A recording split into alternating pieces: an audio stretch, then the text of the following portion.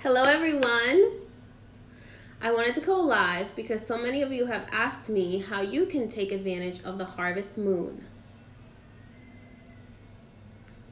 Hello, hello, hello, hello.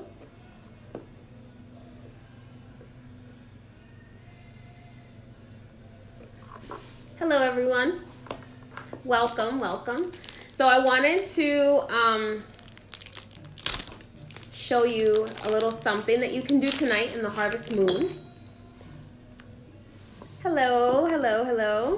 Welcome.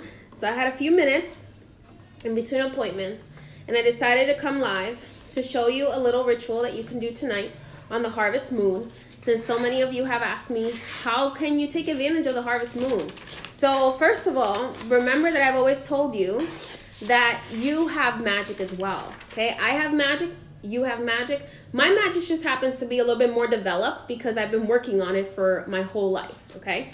But if you start working on it, you can develop your, your magic as well. So all of us have magic. So let's go ahead and take a look here. So some lineages might have them a little bit more developed because they do initiations, we do ceremonies all the time, and the more you practice magic, the more developed it becomes and the more powerful it becomes, okay? So, why is the harvest moon important? So, we have a historic event happening right now because today is the harvest moon, but it's also Friday the 13th.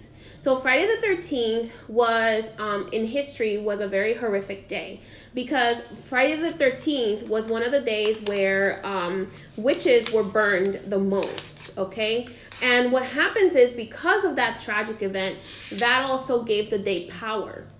So what happens is that in exchange for that horrific event, our ancestors got to raise and got to raise in power. So anyone who has magical ancestry or um, who was falsely accused of being a witch and had an ancestor that was um, unfortunately burned, um, they received extra boost of power as a repayment for the mistake made against them. So because we all know it's not okay to burn people, okay? So, Friday the 13th is believed that um, any magic you do on Friday the 13th has a more permanent effect. So usually any any magic that you do will have a more permanent effect and that permanent effect will take will take place at midnight. So you would start any ritual you want to start around nine o'clock. So nine o'clock is also um, associated with the manifesting hour in my tradition. So um, you would start at 9 p.m. Uh, when the moon is starting to show up the most in the sky. And you would take this. Um, now, usually, full moons are, are done for releasing things.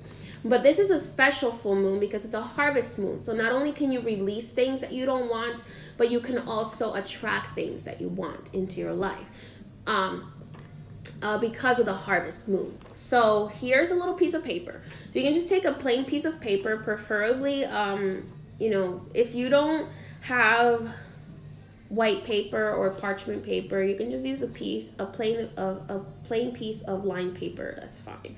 And what you're gonna do is you're gonna write your name on here nine times. So you're gonna write your name and your birthday on here nine times, and you're gonna choose a orange candle. Okay why do we use this orange candle? Because the color orange is the color of harvest, okay? So um, in around harvest time, orange orange is, if you think about the fall leaves, right, in New England, um, the fall leaves turn orange. So when things started to turn into winter, they started to turn orange. So that's when our ancestors would pick things so that they could save it for winter. Uh, I would prefer. It would be best to use your non-married name, your your name that is in your akashic record that you were born with. So your family name has more power.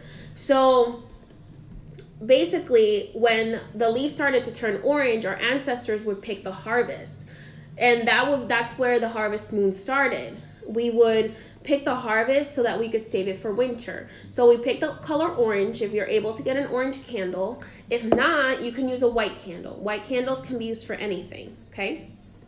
So you can use um, you can use this candle for anything if you want a, a, white candle so a white candle can be used for releasing a white candle you can um, dress it with olive oil and use it for attracting um, you can dress it with whatever oil you want so you would want to write your name on here and your birthday nine times okay?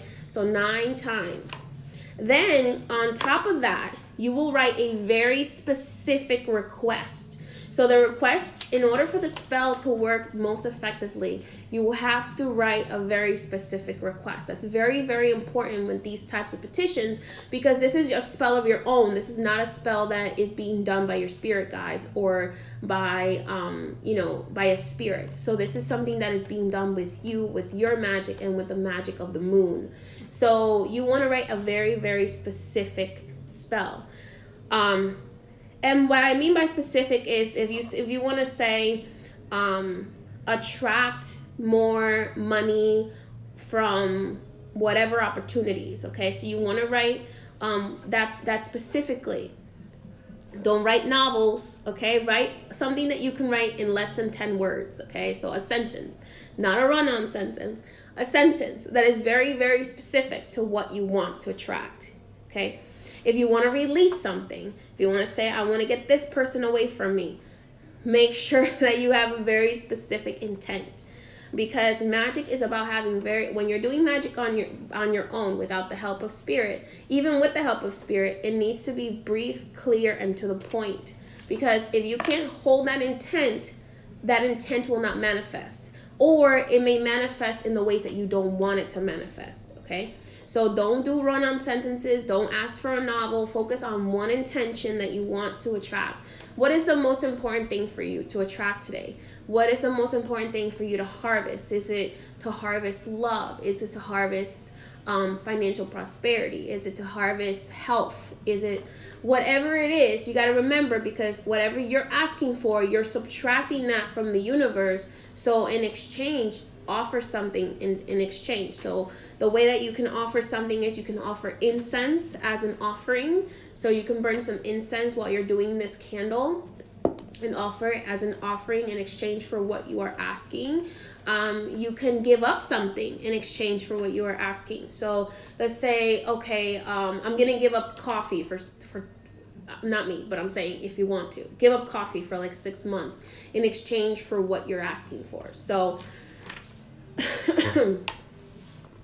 offer something. So once you do this petition, you're gonna put this in a very safe place. You're gonna um, put it on um, a safe, uh, fire safe plate. Okay, so for a love request, you can say, "I would like, I would like to attract the love of so and so." Okay, or I would um, like so and so to pay more attention to me. So those things are what you want to ask for. And then you want to put their name on there as well if you're asking for a particular person. You're going to put this on a safe, on a fire safe plate. So preferably a metal plate, something that's not, or a porcelain plate, something that's not going to burn. And you're, you gotta be, you gotta make sure you watch this because you have to watch the candle while it burns. That's why it's very important that you realize that if for your intent to hold, you have to watch the candle while it's burning. Okay, so you can't just walk away and let it sit there and let it do its thing by itself. You have to have the you have to watch the candle, hold your intent while you're holding. Then after you can write your name on the candle as well if you'd like to from top to bottom. And you would place the candle on top of that petition. And while that candle is burning, and you have some incense burning for your ancestors and your guides, um, you will ask the universe for your request okay? So like I said, you can use orange. The olive oil is a sacred oil. So olive oil can be used for attracting a lot of things. So it can be used for attraction, it can be used for peace, it can be used, it's kind of like um, an all oil. So you can dress this with olive oil if you like. It, it It's believed to have an extra boost of magic. So you don't need to use a lot of olive oil, just a little tiny bit in your hand and you would you can rub the candle down with it, okay? Set the candle on top of the paper. Watch the candle burn, okay? When the candle burns, there will be droplets on the on the bottom of there will be what we call tears, okay? if you don't have incense, you can use, um, if you have cinnamon in your cupboard, you can burn cinnamon in exchange for, for what you're asking. So, watch the candle burn. At the end of it, you'll have what's called little tears at the bottom. So those tears can represent what blockages are in your way to receiving your um, your request. It can represent um, if you have a lot of tears, it means you need cleansing in order for you to receive your request. Okay, so the candle will give you a little bit of, a, of an idea.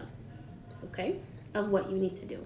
I'll go ahead and save this live if you want to rewatch it. Once once the candle gets down to about this much, um, you're you're gonna leave that much, okay, and then you're gonna leave it there and you're gonna let it sit there, and tomorrow night you can wrap it up and you can dispose of it in a safe place.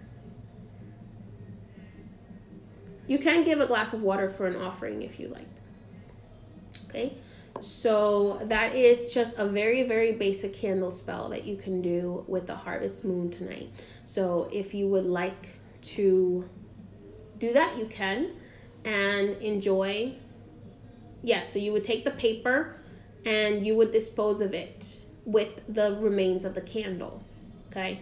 So you want to dispose of it preferably at a crossroads. So you would because the crossroads are believed to be the middle ground between the between the spirit and the physical realm. So you can take it to a garbage can at the crossroads and um, as you leave it there think about manifesting your request. If you want to use a container candle that's fine. I like I like these candles because then you can read um, what blockages there are and you can see if you need cleansing based on how many tears the candle accumulates. That is just a basic candle working. Since I'm always doing candle workings and I always get asked this question. a crossroads is where two roads cross one another. So it's a major intersection. Okay? So crossroads is a major intersection. It is believed to be the, the that's why the cross in Christianity is so powerful because it is a, a literal symbol of the crossroads. So you can leave that at a garbage can at the crossroads if you would like. Not everybody's going to be doing it. um, preferably at the crossroads. That is the preferred place to leave it. At a garbage can at and on one of the corners of the crossroads. So um, that is something that you can do. Okay. So that is how you can take advantage of the harvest moon tonight and the fact that for the first time in I believe 19 years, the harvest moon happened on the Friday the 13th. Okay, many blessings. I hope you enjoyed that and let me know how it goes. Bye bye.